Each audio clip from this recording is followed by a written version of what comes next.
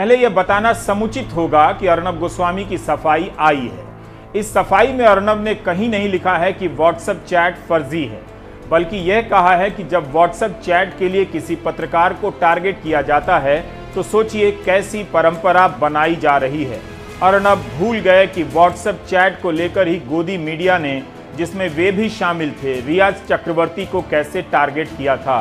अर्नब ने अपने जवाब में लिखा है कि व्हाट्सएप चैट में जो बातें हैं वो उस वक्त मीडिया में आम थी, हज़ारों जगहों पर छप रही थी। क्या यह जवाब इस चैट को लेकर उठ रहे सभी प्रश्नों के लिए काफ़ी है? शायद नहीं। अर्नब ने टीआरपी वाले प्रसंग पर भी अलग से कुछ नहीं कहा है।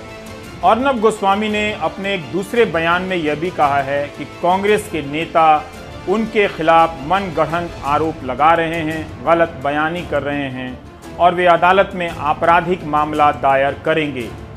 हम आपको बता दें कि व्हाट्सएप चैट में अर्नब गोस्वामी पार्थो दास गुप्ता को 23 फरवरी के दिन बता रहे हैं कि पाकिस्तान पर हमला होगा। तीन दिन पहले, अर्नब धारा 370 हटने के तीन दिन पहले पार्थो को सूचना देते हैं। फरवरी में बालाकोट के समय ही बता रहे हैं कि कश्मीर में बड़ा होने वाला है। एक अलग चैट में अर्नब पार्थो दास गुप्ता को कहते हैं कि दो से पाँच मार्च के बीच कश्मीर मत जाओ, अगर जाना ज़रूरी है तो वे सुरक्षा दिलवा देंगे। क्या इन चैट को पढ़कर यह संकेत नहीं मिलता कि जैसे सरकार न्यूज़ चैनल चला रही हो और उसके लिए कंटेंट पैदा कर रही हो और बदले में न्यूज़ चैनल का एंकर भी सरकार और उसकी राजनीति चला रहा हो। पूर्व रक्षा मंत्री ए के एंटनी ने आज इस पर सवाल उठाया और चिंता जताई। सलमान खुर्शीद ने कहा कि अर्नब गोस्वामी जिस तरह से बीजेपी नेता अरुण जेटली के बारे में बात कर रहे हैं, दुखद है। पार्थो अपने चैट में कहते हैं कि एनएम ऑब्लिक एएस को सबसे पहले दूसरे टर्म में वित्त मंत्रालय में फेरबदल करनी चाहिए। हम बाहर जो भी कहें, लेकिन देश की अर्थव्यवस्था की हालत खराब है। पार्थो कहते हैं कि जेटली इनकी सबसे बड़ी असफलता है। इसके बाद अर्नब का जवाब आता है कि मैं बिल्कुल सहमत हूँ। अपना चैनल होने के बाद भी खराब अर्थव्यवस्था पर डिबेट करने से अर्नब को कौन रोक सकता है? क्या यह साधारण बात है कि इकोनॉमी पिट गई है और अर्नब चुप हैं? भारत में बेरोजगारी है, करोड़ों लोगों की नौकरियाँ चली गई, बिज़नेस बर्बाद हो गए। आम लोगों को बानवे से पंचानवे रुपए लीटर पेट्रोल के देने पड़ रहे हैं।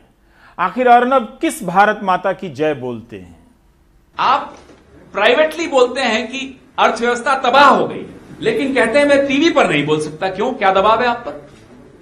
क्या मजबूरी है आपकी? कि देश को आप बता नहीं सकते कि अर्थव्यवस्था डूबी हुई है।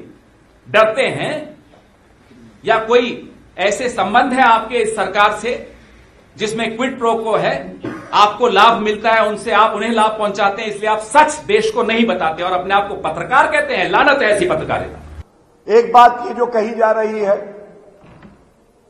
कि जो गोपनीय जानकारी है ये बाहर कैसे आ जाती है? ये वो सरकार है, भारतीय जनता पार्टी वो दल है, जिसके लिए देश हित सर्वोपरि है।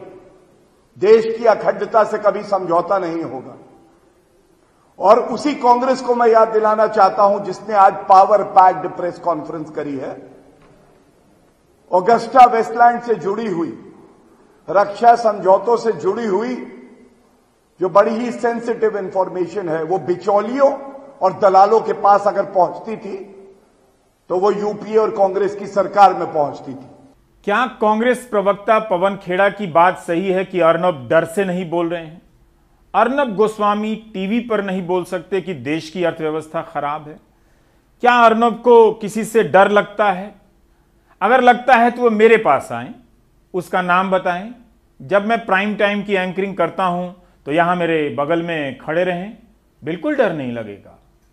कुणाल कामरा भी यहाँ नहीं आते हैं। हाँ यहाँ कूदने फांदने की जगह नहीं है, कम है, दीवार है, टकरा जाएँगे, चोट लग सकती है। ना उछलने कूदने दूँगा मैं, क्योंकि मेरा घर छोटा है और सामान सारे सस्ते हैं, टूट गए तो। लेकिन यहाँ मेरे बगल में खड़े रहेंगे तो सारा डर भाग जाएगा और मेरे साथ बता सकेंगे कि भारत की अर्थव्यवस्था की हालत वाकई खराब है। सुधा Bharadwaj, Varavara Rao, Vernon Gonsalves Gautam Navlakha, Stan Swamy, Anand Teltumbde, Rona Wilson, Surendra Gadling, Mahesh Raut, Shoma Sen, Arun Ferreira, Umar Khalid, Devangana Kalita, Natasha Narwal. इन सब के खिलाफ अभियान चलाकर अर्नब ने एक तरह से जनमत तैयार किया। तब तो अर्नब को किसी से डर नहीं लगा, अपनी अंतरात्मा से भी नहीं। बात मेरी ही सच होगी, बस तब आपके पास अफसोस के अलावा कुछ नहीं होगा।